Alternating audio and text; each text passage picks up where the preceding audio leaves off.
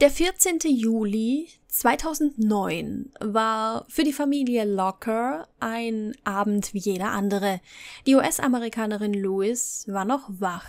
Sie wuselt durch das Haus, macht hier und da noch etwas im Haushalt, geht dann ins Bad, um sich umzuziehen, weil es wird allmählich Zeit fürs Bett. Ein Blick auf die Uhr genügt und Louis weiß, dass sie heute Abend alleine einschlafen muss. Ihr Ehemann Jeff macht mal wieder Überstunden. Das war für sie nichts Neues, das kam so gut wie immer vor. Sein Beruf war sehr wichtig. Sie wusste ganz genau, ist er bis zu einer gewissen Uhrzeit nicht zu Hause, dann hat ihn sicher wieder ein Fan oder eine Person, die mit ihm zusammenarbeiten will, nach einem Auftritt zum Essen eingeladen. Für Louis war das okay, sie nimmt dann, bevor sie zu Bett geht, das Telefon und ruft ihren Ehemann an. Wann er circa nach Hause kommt, ob es sich nicht doch noch lohnt, aufzubleiben und auf ihn zu warten, Jeff geht wie immer zügig ans Telefon. Er sagt seiner Ehefrau, dass er schon auf dem Weg nach Hause ist, aber es würde noch dauern. Er muss an seinem Wagen den Reifen wechseln, ehe er weiterfahren kann, aber sie soll schon mal schlafen gehen, bis er zu Hause ist. Das dauert noch. Louis meint dann, sicher, soll ich nicht jemanden schicken, woraufhin ihr Ehemann erwidert, nein, nein, das schaffe ich alleine.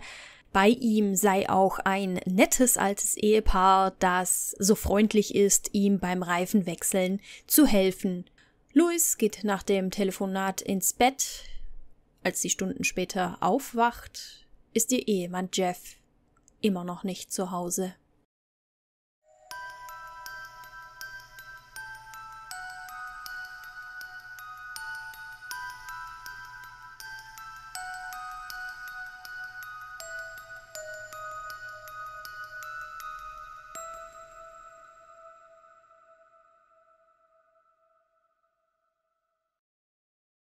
Jeffrey Bruce Locker war in den USA lange ein sehr bekannter Name. Wer ein Unternehmen aufbauen und dann auch noch erfolgreich damit sein wollte, der ging zu Jeff, der 52-Jährige, hat sich über Jahre mit viel Arbeit und Fleiß einen sehr guten Namen als Berater gemacht. Was heißt das im Klartext? Eine Firma konnte Jeff für ein Honorar buchen. Jeff hat sich den Betrieb dann eine Weile angesehen und dann der Geschäftsleitung gesagt, hier, dieses und jenes müsst ihr anders machen oder das ist der Grund, warum eure Firma nicht wächst und so weiter. Jeff war sehr erfolgreich in seinem Beruf. Sein Rat war Gold wert wert. Natürlich war dieser auch nicht billig, aber das zahlen die Firmen natürlich gerne, keine Frage. Ein paar von Jeffs Tipps und die Firma wächst in einem Jahr mehr als in fünf, das haben die Firmen in New York natürlich gerne bezahlt. Jeff wurde nicht durch Zufall so erfolgreich. Nein, der Grund dafür war, dass er eine ganz eigene, selbstentwickelte Technik hatte. Das war das Geheimnis seines Erfolges. Er achtete auf die Feinheiten, die die meisten Arbeitgeber gar nicht sehen wollen, weil sie denken, das macht keinen Unterschied. Jeff bewies ihnen das Gegenteil. Die meisten Firmenberater wuseln einmal um das Grundstück herum, lassen sich dann die Bücher zeigen und sagen dann aufgrund der Zahlen, die sie sehen, dieses und jenes muss man anders machen. Die Kosten tragen dann die Mitarbeiter. So funktioniert das natürlich auch. Aber Jeff war genau das Gegenteil. Er sagte, der wichtigste Grundstein einer Firma, die langfristig auch noch vorhat zu wachsen, erfolgreich zu sein und alles, das bekommt man nur durch eines. Und das sind zufriedene Mitarbeiter. Und das stimmt tatsächlich. Es gibt genug Statistiken, die das auch beweisen. Die meisten Chefs regieren einfach nur mit den immer gleichen Sätzen, das muss schneller gehen oder mir egal, was du meinst, das machen wir schon immer so und wer was dagegen hat, da ist die Tür. Aber Mitarbeiter, die ehrlichen Umgang erfahren, die wissen, dass ihre Arbeit geschätzt wird, sind viel, viel produktiver als die, die ständig zu hören kriegen, wir sind eine Familie. Aber Freizeit? Was ist das? Kann man das essen? Brauchst du nicht. Das haben viele Arbeitgeber heute noch nicht verstanden. Jeff sagte zu Firmenchefs, ihr müsst den Leuten wesentlich mehr bieten als Arbeit und ein Gehalt. Bietet ihnen eine gesunde Umgebung und ihr werdet sehen, alles wird ganz automatisch besser laufen. Er sagte in einem Vortrag, wenn du anderen etwas gibst, wird sich das immer lohnen. Und so wurde Jeff erfolgreich. Wobei man dazu sagen muss, er hatte nebenbei noch ganz viele andere Jobs. Er liebte es zu arbeiten und wenn er die Möglichkeit bekommen hat, sich weiterzuentwickeln, dann hat er das auch gemacht. Manchmal war er vollständig angestellt als Berater in einer Firma, wenn er dann nicht mehr gebraucht wurde, hat er Bücher über seine Arbeit geschrieben und mit Beginn der 90er Jahre hat er seine Karriere dann ausgebaut. Er hat sich selbstständig gemacht als Motivationscoach. So ist er dann auch zu einer kleinen Berühmtheit in New York geworden. Das Ganze hat dann immer neue Dimensionen angenommen, nicht nur finanziell. Jeff selbst kam aus ganz einfachen Verhältnissen und die Leute haben seine Vorträge gerne angehört. Auch in seinem Privatleben hatte er die Devise Deine Freunde und Familie sind wichtig. Schau, dass sie glücklich sind. Und wenn du etwas sein oder haben möchtest, dann arbeite an diesen Zielen und deine Träume werden sich erfüllen. Jeff hat gerne gearbeitet, sehr viel gearbeitet und hat dann auch immer mehr verdient. Um das Geld ging es ihm dabei nie. Er wollte dafür sorgen, dass Menschen einsehen, dass es viel, viel wichtiger ist, dass man gut zu denen ist, mit denen man täglich zu tun hat. Der Grund, warum er auch so viel gearbeitet hat, war aber auch ein ganz anderer, nämlich seine eigene Familie. Seine Ehefrau Louis und die drei gemeinsamen Kinder. Für Jeff war die Familie alles. Auch wenn er stellenweise viel unterwegs war, er und Louis waren ein gutes Team. Sie hat zu Hause alles gemanagt und er hat sein vielfältiges Business betrieben. Im Jahre 2009 lebt die Familie in einer sehr teuren Gegend in New York. Das Ehepaar war da auch sehr beliebt. Alle haben die immer fröhliche Familie sehr geschätzt. Es war immer eine Freude, sie da zu haben. Und Jeffs Karriere hätte in diesem Jahr nicht besser laufen können. Alles war tutti. So wollte er es. Seine Familie sollte alles haben, was sie will. Doch ihr wisst, was das für ein Format ist. Am 14. Juli 2009 ruft Lewis in den Abendstunden ihren Ehemann an. Jeff hatte an diesem Abend einen Vortrag und sie wusste eigentlich, er kommt mit Sicherheit spät nach Hause. Jeff hat sich nach seinen Vorträgen, Seminaren, je nachdem was anstand, immer viel Zeit genommen, mit den Leuten noch zu reden. Er hat gerne Fragen beantwortet, Autogramme verteilt, manchmal wurde er danach auch zum Essen eingeladen. Louis hat dann am Abend auf die Uhr geguckt und sich gedacht, ich rufe ihn mal an. Sie wusste eigentlich, ist er bis zu einer gewissen Uhrzeit nicht zu Hause, dann ist er noch unterwegs, aber Fragen kostet ja nichts. Jeff ist dann ans Handy gegangen, doch er meint zu seiner Ehefrau, sie soll ins Bett. Er ist zwar auf dem Weg nach Hause, aber das Ganze dauert noch. Er muss erst einen Reifen wechseln. Er braucht nichts. Bei ihm sei aber auch ein nettes älteres Ehepaar, das sich dazu bereit erklärt hat, ihm zu helfen. Louis wacht dann mitten in der Nacht auf und stellt fest, dass Jeff nicht nach Hause gekommen ist und sie ruft dann auch die Behörden. Was mit Jeff ist, klärt sich dann ganz schnell. Er wurde in den Morgenstunden leblos in seinem Auto gefunden.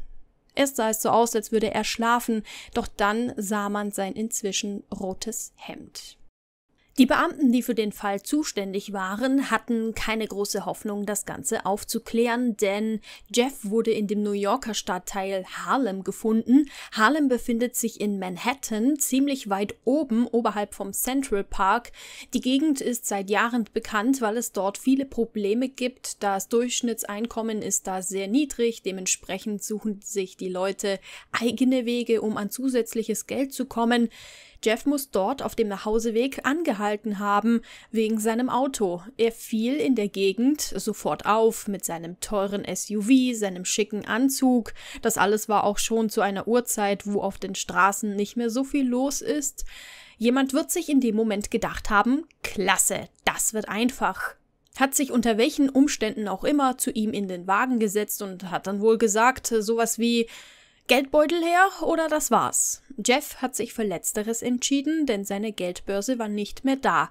Das aufzuklären ist unmöglich. Selbst wenn sie jemanden finden, der gestern etwas mitbekommen hat, die Menschen in diesem Bezirk wohnen unter sich, in einer eigenen Gemeinschaft, die helfen den Behörden nicht. Jeff war gestern Abend zur falschen Zeit am falschen Ort. Natürlich werden die Beamten dennoch erst einmal alles versuchen, was möglich ist, auch wenn die Aussicht auf Erfolg praktisch nicht da war. Jeff war berühmt. Die Öffentlichkeit wird auch Ergebnisse verlangen, das kann ja was werden, aber eventuell gibt es aufgrund dessen doch irgendjemand, der gestern etwas gesehen hat und reden möchte. Das Erste, was getan werden muss, ist seiner Familie Bescheid zu sagen, denn die wissen noch gar nicht, was los ist. Die Beamten sind dann zu Jeffs Haus gefahren. Louis erfährt schließlich, dass er nie wieder nach Hause kommen wird.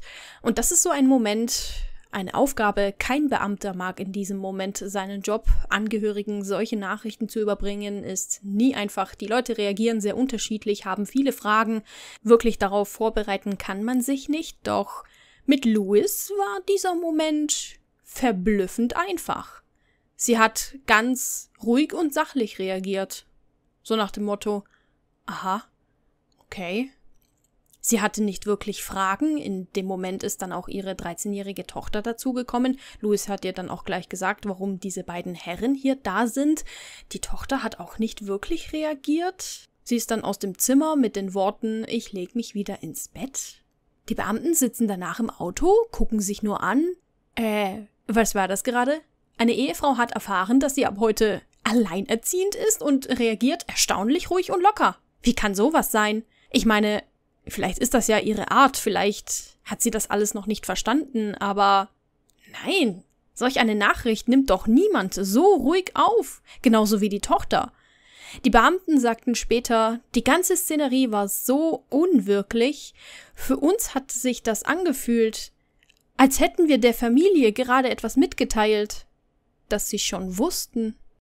An dem Fall ist wohl doch viel mehr dran, als es auf den ersten Blick scheint. Interessant war auch, die Beamten wussten inzwischen, dass Jeff zum letzten Mal am Abend mit seiner Frau telefoniert hat. Er hat ja zu ihr gesagt, es ist was mit dem Auto, er muss den Reifen wechseln, bei ihm sei aber ein nettes Ehepaar, das ihm hilft. Das Ehepaar zu suchen, das kann man sich sparen, das wird man nie finden, aber das war auch gar nicht interessant, sondern die Tatsache, dass ein Experte sich dann das Auto von Jeff angesehen hat und dieser meinte dann, sein Reifen wurde nicht ausgetauscht. Es gab gar keinen Grund dazu. Alle vier waren vollkommen in Ordnung. Hm. Und tatsächlich kommt dann sogar ein Anruf rein. Eine Person meinte, Jeff war gestern in Harlem unterwegs. Er wurde wohl in einem Laden gesehen und hat Sachen gekauft, die deutlich zeigen, dass Jeff noch vorhat, eine nette Dame für einsame Stunden zu besuchen gegen Barzahlung. Und das war nicht das erste Mal, dass er in Harlem gesehen wurde. So, so, war die Ehe zwischen Jeff und seiner Ehefrau doch nicht so happy? Hat er sich außerehelich vergnügt und hat seine Ehefrau darum so reagiert? Dieser Hinweis ist vielversprechend, doch Jeffs Umfeld hat diese Geschichte vollständig dementiert. Alle meinten, das ist unmöglich. Jeff hat seine Ehefrau über alles geliebt. Nur wegen seiner Familie hat er so viel gearbeitet. Das war seine Motivation, sich stetig zu verbessern, erfolgreicher zu werden. Mal abgesehen davon, er kannte sich in Harlem gar nicht aus. Er ist da, wenn, nur durchgefahren. Er hatte so wenig Freizeit, das hat er immer mit seiner Familie oder mit Freunden verbracht. Also hätte er irgendetwas in der Gegend gemacht mit anderen Personen, irgendein Freund hätte davon gewusst. Die Beamten kommen dann zu dem Entschluss, dass die Person, die gemeint hat, sie hat Jeff am Abend zuvor noch unterwegs gesehen in Harlem, hat die Story vielleicht erfunden oder es war doch ein anderer Herr. Es gab dann aber immer mehr Geschichten. Personen haben angerufen und meinten, ich habe Jeff hier gesehen am Abend, nein da, ich bin mir sicher, er war es. Aber es war nicht möglich, diese Behauptungen nachzuprüfen. Louis hat dann eine Pressekonferenz abgehalten. Sie meint, ich weiß, was Jeff passiert ist, kann man kaum glauben, und ich weiß, dass Geschichten sich noch besser verkaufen, wenn es so aussieht, als hätte ein berühmter, erfolgreicher, liebevoller Ehemann und Vater eine geheime Seite gehabt, aber das hört jetzt auf. Jeff war wundervoll, in jeglicher Hinsicht, treu, hilfsbereit, erfolgreich. Er hat mit seiner Arbeit so viele Menschen motiviert, an sich zu glauben, und darum erlaubt sie es nicht, dass jetzt, nur weil sich die Überschrift dann besser verkauft, irgendwelche Geschichten über ihn erfunden werden. Damit waren die Beamten wieder bei Null. Doch dann kam etwas anderes, sehr Interessantes, wieder ein Anruf, doch dieses Mal war es nicht wie die gefühlt letzten 20 Male, wo jemand meinte, Jeff war hier und da, ich bin mir sicher. Nein, der Anrufer hat nicht einmal seinen Namen gesagt, nur die Worte, ihr wollt wissen, was mit Jeff ist? Dazu sage ich nur NSYNC. Ihr habt richtig gehört. Damit gemeint ist diese berühmte Boyband aus den 90er Jahren. Die Musikgruppe, mit der Justin Timberlake unter anderem berühmt geworden ist, auch ein bisschen wegen seiner damaligen Frisur. Kenner werden wissen, was ich meine. Die Beamten wissen nicht, was sie damit anfangen sollen, aber das stellt sich gleich heraus. Offenbar hatte Jeff neben seinen zahlreichen Einkünften auch noch ein anderes Business. Das war jetzt aber nicht wirklich ein Geheimnis. Er hat Aktien gekauft und dann mit Gewinn weiterverkauft. Das war jetzt nichts Besonderes, das machen ja viele. Jeffs Umfeld meinte dazu auch nur, ja, er hat sich sehr für Finanzen und Investment interessiert. Das war ein Hobby, das er sehr intensiv betrieben hat. Er kannte ja auch durch seine Arbeit viele in der Finanzbranche. Er hat auch oft Freunde Tipps gegeben, so nach dem Motto, kauf das und da. Und was hatte das jetzt genau mit einer Boyband zu tun?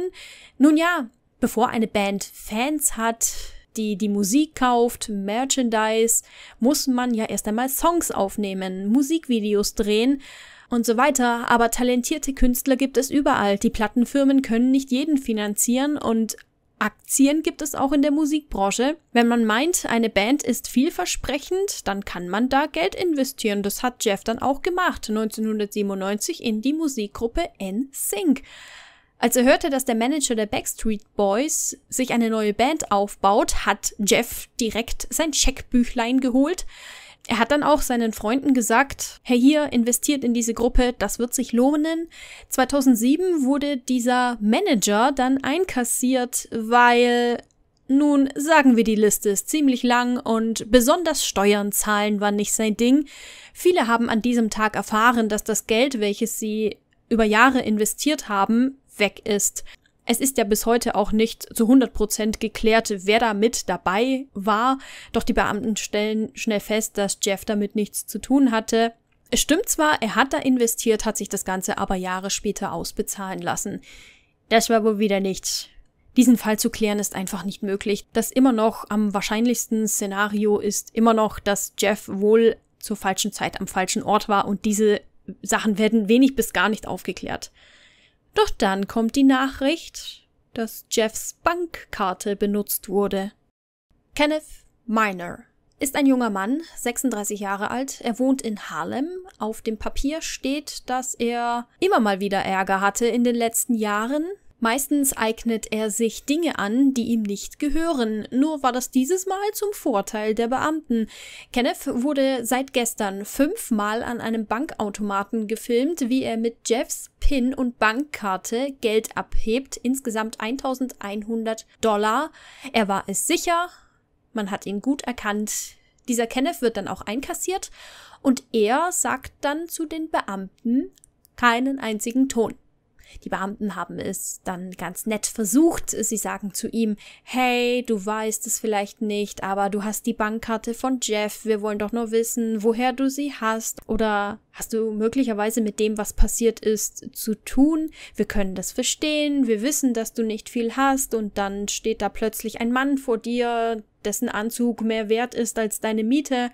Doch Kenneth bleibt dabei. Er will nicht reden, also macht er das auch nicht. Ganze zehn Stunden lang. Das ist sehr lange. Doch dann kann Kenneth nicht mehr. Er sagt, ich kann das, was war, nicht sagen. Niemand wird mir glauben. Die Beamten meinten dann, egal was war. So kommen wir nicht weiter. Und Kenneth erzählt dann eine Geschichte, die ich so noch nie gehört habe. Was jetzt kommt, ist einfach unglaublich. Kenneths Alltag war so wie bei den meisten in Harlem. Er hatte eine Familie, doch das Geld, das er mit seinem Job verdient hat, reichte nicht einmal im Ansatz. Das war für Kenneth nicht einfach. Er hatte darum die Angewohnheit, gerne und viel ins Glas zu schauen. Kenneth ist abends oft durch die Straßen von Harlem gelaufen, hat Sachen gekauft, um sie mit Gewinn weiter zu verkaufen. Wenn er so wenig Geld hatte, dass gar nichts mehr ging, hat das meistens ganz gut geklappt. In den Abendstunden des 14. Juli 2009 war Kenneth auch wieder unterwegs. Er hatte schon ordentlich einen Sitzen, er wusste nichts mit sich anzufangen. Da sieht er plötzlich dieses Auto vor ihm dass Kenneth abends inoffiziell als Händler arbeitet, das wussten viele, und er meinte zu den Beamten, oft haben ihn einfach so spontan Leute angesprochen mit Hey, hast du das und das für mich? Also wusste Kenneth sofort, dieser teure SUV, der da auffällig vor ihm parkt, der weiß, was er tut und wie es aussieht, stellt sich ihm gleich ein neuer Kunde vor. Er geht an das Fahrzeug heran, der Fahrer macht die Scheibe runter und im Auto sitzt Jeff. Kenneth wusste nicht, wer er war, er hatte ihn auch noch nie zuvor gesehen. Kenneth meinte, was möchtest du? Und Jeff antwortete, ich möchte eine Waffe. Das war ein ungewöhnlicher Wunsch. Kenneth hatte mit solchen Gegenständen eigentlich nichts am Hut, aber er wollte sich ein Geschäft jetzt nicht entgehen lassen. Er sagte zu Jeff, gib mir Geld, deine Handynummer und ich will sehen, was sich machen lässt. Er sagt zu ihm, für was brauchst du die denn? Oder willst du ein bestimmtes Modell? Und Jeff antwortet, nein, nein, egal welche. Und dann will ich, dass du sie benutzt. An mir. Da dachte Kenneth, okay, reiche Menschen haben komische Wünsche oder sein letztes Getränk war doch zu viel. Oder ein bisschen von beidem. Er hatte keine Sekunde vorgehabt, Jeffs Wunsch nachzukommen. Er wollte da auch keine Details wissen. Die 70 Dollar, die er dann von ihm bekommen hat, um den von ihm gewünschten Gegenstand zu kaufen, hatte dann lieber für sich selbst ausgegeben. Kenneth meint dann zu den Beamten, das, was jetzt kommt, kann er nicht erklären. Er kann nicht sagen, warum er das folgende gemacht hat. Stunden später wählt er die Nummer von Jeff und sagt ihm am Telefon nicht viel. Kenneth wollte solche Sachen nicht am Telefon besprechen, man weiß ja nie, am Ende sind das verdeckte Beamte. Doch zu seiner großen Überraschung kommt Jeff mit seinem Auto zum vereinbarten Treffpunkt und Kenneth steigt in den Wagen. Die beiden fahren eine Weile durch Harlem und reden tut eigentlich nur Jeff. Er meint zu Kenneth, schau, ich weiß, mein Wunsch ist das ungewöhnlichste, was es wohl je gegeben hat, aber ich habe vorhin keinen Witz gemacht. Ich will nicht mehr da sein. Jeff erzählt dann, dass er etwas gemacht hat, das man nicht mehr rückgängig machen kann. Heute Nacht will er, dass alles wieder gut wird. Er hat viele Jahre in Aktien investiert und sein Konto aufgebessert. Das wissen wir ja. Doch wie Jeff sagt, war er da nicht immer ehrlich. Er hat seinen reichen Freunden und Bekannten immer wieder mal Investment-Tipps gegeben von Firmen, wo er genau wusste, dass die niemals Gewinn erzielen. Das Geld seiner Freunde hat Jeff dann zum Teil selbst behalten und die Person, die ihm dabei geholfen hat, das Märchen von der bald super erfolgreichen Firma, in die man nur noch investieren muss, das wird sich sehr lohnen, aufzubauen, sowas ist natürlich nicht erlaubt. Jeff sagte zu Kenneth, er sei sehr reich. Das alles ging viele Jahre lang gut, er hat sehr viel Geld damit gemacht. Doch jetzt haben einige Personen allmählich gemerkt, Moment mal, das Geld, das ich da investiert habe, die Firma gibt's gar nicht. Wo ist mein Geld? Jeff meint, bald kommt er vor Gericht. Er kriegt sicher über 20 Jahre. Der Prozess wird sein ganzes Geld kosten. Eines darf auf keinen Fall sein. Der Alltag seiner Familie darf sich nicht verändern. Seine Familie sei an einen gewissen Lebensstil gewöhnt. Wenn er jetzt weg muss, muss seine Ehefrau arbeiten. Sie war jahrelang Hausfrau. Sie wird kaum einen Job bekommen. Sie werden das Haus verkaufen müssen und wegziehen müssen in eine Gegend, wo sie keiner kennt. Das steht für ihn nicht zur Diskussion. Er meinte, ich bin gut versichert. Bin ich nicht mehr da, bekommt meine Familie 18 Millionen Dollar. Kenneth hört, wie das Handy von Jeff klingelt. Er hört ihm die ganze Zeit einfach nur zu. Scheinbar telefoniert er mit seiner Frau. Jeff erzählt irgendetwas von, ja, ich bin auf dem Weg nach Hause, aber ich muss den Reifen austauschen und hier sei ein altes Ehepaar, das mir hilft. Da musste Kenneth schon etwas grinsen. Als Jeff das Handy dann wieder auf die Seite legt, sagt Kenneth, für was brauchst du mich? Er deutet mit einer Geste an, guck mal, da ist ein Fluss, bedien dich. Doch Jeff sagt nein, die Versicherung zahlt in so einem Fall nicht. Es muss so aussehen, als war er einfach zur falschen Zeit am falschen Ort.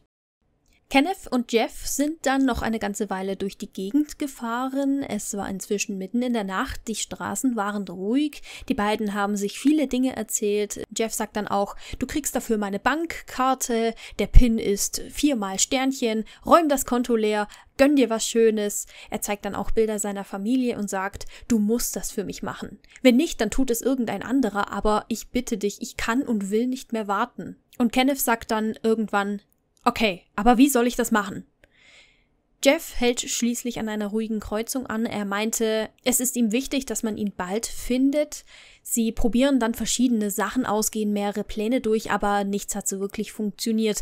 Jeff meint dann, schau mal ins Handschuhfach, ich glaube, da ist ein Messer, platzier das einfach in der Höhe vom Lenkrad, den Rest mache ich selbst. Laut Kenneth hat er das dann gemacht und Jeff hat sich dann vier bis sieben Mal mit Schmackes nach vorne gelehnt. Als sein Hemd dann rot wird, nimmt Kenneth die Geldbörse von Jeff, der laut seiner Aussage zufrieden grinst.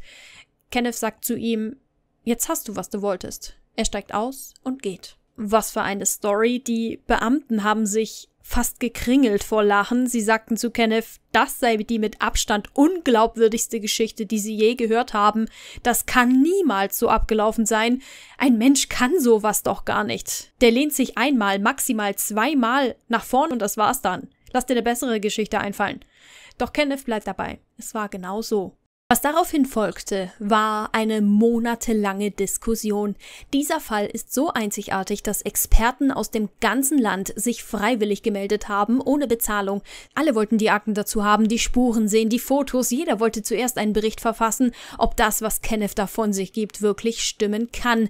Doch die Sache war die, grundsätzlich, wenn man sich den ganzen Sachverhalt ansieht, stimmt Kenneths Version.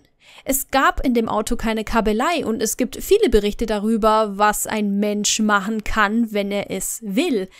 Jeff war jemand, der sehr ehrgeizig war und er hat in seinen Vorträgen immer zwei Sachen gesagt. A, es gibt keine Grenzen, du alleine bestimmst, was du kannst und was nicht, und B, tu das, was getan werden muss, immer und sofort. Ist das wirklich die Lösung für diesen Fall? Wollte Jeff sicher gehen, dass seine Familie alles hat? Aber was sollte man jetzt machen? Was soll Kenneth dafür kriegen? Gibt's für sowas überhaupt einen Paragraph? Eine erste Untersuchung ergibt, dass auch alles, was Kenneth von Jeff erfahren hat, stimmt. Bald wären bei ihm eine Menge Briefe hereingeflattert mit dem Betreff Jeff, ich will mein Geld mit Zinses, Zinses, Zins. Er wäre plus 20 Jahre eingewandert, seine Familie wäre irgendwo gelandet, ohne Geld, keine Perspektive. Kenneth hatte so viele Infos, woher hätte er die alle wissen sollen? Einschließlich der Zahl, die nötig ist, um an das Konto von Jeff heranzukommen. Und dann kommt auch noch etwas, damit hat keiner gerechnet. Ich muss wohl nicht sagen, dass dieser Fall in den Medien rauf und runter ging. Die Newsportale haben sich gefreut, die dachten, diese Geschichte wird ja immer besser. Kein Drehbuchautor kommt auf sowas. Und dann meldet sich ein Mann, er gibt gegenüber den Beamten an, dass er Jeff kennt. Irgendwie. Der Mann hat wie Kenneth auch in Harlem gewohnt und hat dann erzählt, vor einigen Tagen war er abends unterwegs und ist dann auch Jeff begegnet. Ihm ist sofort das teure Auto aufgefallen, weil er selbst wenig Geld hat, klopft er und fragt den Mann im Anzug, ob er ihm ein paar Cent schenken würde. Jeff holt seinen Geldbeutel und meint, weißt du was, ich gebe dir fünf Dollar. Der Mann hat sich natürlich total gefreut und meinte, danke, Sir, wenn es irgendetwas gibt, das ich für Sie tun kann, lassen Sie mich es wissen. Und Jeff meinte, da gibt es tatsächlich etwas. Dann steig mal ein. Der Mann kannte Kenneth nicht, aber er hat genau die gleiche Geschichte erzählt. Jeff und er sind zwei Nächte lang durch Harlem gefahren, haben sich einen Plan überlegt. Er hatte nie vor, Jeffs komischen Wunsch zu erfüllen, doch Jeff hat ihm 7000 Dollar gegeben. Irgendwann hatte der Mann dann aber keine Lust mehr. Er sagte zu Jeff, ja, ja, stell dich an die Ecke mit dem Auto, ich komm gleich und dann machen wir das. Jeff hat da geparkt und der Mann ist auf auf und davon. Der Prozess war sehr spannend. Keiner wusste, wie das ausgeht. Man kam dann zu dem Entschluss, dass Jeff ein sehr selbstbewusster Mensch war. Jemandem wie Kenneth sowas einzureden sei für ihn kein Problem. Das ändert aber nichts an der Tatsache, dass Kenneth für alles verantwortlich ist, denn er hätte Nein sagen können. Kenneth selbst meinte, er kann nicht sagen, warum er das gemacht hat, er ist sich aber der Tatsache bewusst und er wird für die Rolle, die er in Jeffs Plan gespielt hat, auch den Preis bezahlen. Er hofft nur, dass das Gericht anerkennt, was das für Umstände waren. Jeff selbst hätte das auch für ihn so gewollt. Die Familie von Jeff hat sich aus der Öffentlichkeit zurückgezogen, sobald der Name Kenneth Miner öffentlich war und diese ganzen Umstände, keiner von ihnen war eine Sekunde anwesend. Kenneth bekommt dann 20 Jahre. Es gab viele Experten, die sich den Fall angesehen haben und die meisten sagen eigentlich ja, das, was Kenneth sagt, stimmt. Man begründet die 20 Jahre damit, dass Kenneth jederzeit hätte gehen können. Es war keine besondere Situation. Er hätte einfach sagen müssen, nö, tschüss. Kenneth ist mit der Bankkarte von Jeff direkt zum nächsten Geldautomat gegangen. Also das wurde ihm sehr negativ angerechnet. Und trotz der Berichte der Experten, niemand hat Kenneth geglaubt. Nicht mal der Anwalt von ihm. Er hat dann aber einen Antrag eingereicht und aus den 20 Jahren wurden dann 12. Wo Kenneth sich heute aufhält, ist unbekannt. Draußen ist er aber wieder ganz sicher. Heute ist er 49 Jahre alt. Ich bin sehr gespannt, was ihr zu diesem Fall sagt. Ob die Familie von Jeff das Geld bekommen hat, ist nicht bekannt. Die Firmen hatten auch keinen Dunst, wie sie damit umgehen sollen. Die Familie sagt, Kenneth wurde offiziell als Verantwortlicher betitelt, also her mit der Kohle. Bekannt ist nur, dass Jeff Wochen und Monate vor alledem ganz viele Versicherungen abgeschlossen hat. Nur so kommt auch eine Summe von 18 Millionen zustande. Und man weiß nur, dass von den 18 Millionen kann man auf jeden Fall ganz sicher 4 Millionen abziehen. Das Geld kriegen sie nicht. Jeff hatte in den Unterlagen angegeben, er verdient im Jahr 800.000 Dollar. Tatsächlich waren es 220 und die Firma, wo er das Ganze abgeschlossen hat, hat dann gesagt, nein, das Geld bekommt ihr nicht. Journalisten haben mal versucht herauszufinden, wie viel Geld die Familie bekommen hat, aber keine Firma wollte sich dazu äußern. Also ich kann mir schon vorstellen, wenn die es irgendwie geschafft haben, die Summe nicht auszubezahlen, dann werden die das auch gemacht haben. Ich persönlich glaube Kenneth, weil es gibt eine Textnachricht, die Jeffs Sohn kurz vor alledem an ihn geschickt hat. Die Beamten, die für den Fall zuständig waren, gehen davon aus, dass die ganze Familie über seinen Plan Bescheid wusste. Ham hat auch seine Frau so ruhig reagiert. Die wusste schon lange, dass er abends in New York herumwuselt auf der Suche nach jemandem, der bei seinem Plan mitmacht. Aus dieser Textnachricht geht hervor, dass Jeff wohl auch sowas wie ein letztes Video gemacht hat. Dieses Video wollte Jeff weitergeben an kommende Generationen in seiner Familie, die ihn ja jetzt nicht mehr kennenlernen werden. Der Sohn hat ihm geschrieben, denk daran, du hast eine Tochter, wenn sie eines Tages heiratet, kann sie niemand zum Altar führen, also guck in diesem Video oder schau, dass du noch ein anderes machst, das wir dann abspielen können, wenn der Tag da ist, wenn sie heiratet, dann ist es wie, als wärst du da. Da wird sie sich sehr freuen. Also ja, ich denke, die Familie wusste das. Hätte Jeff Kenneth die Bankkarte nicht mitgegeben, dann wäre da bis heute niemand drauf gekommen. Und das alles mal wieder nur für Geld. Wie immer frage ich zum Schluss, wer kannte diese Geschichte? Ich bedanke mich fürs Zuhören. Bis zum nächsten Mal.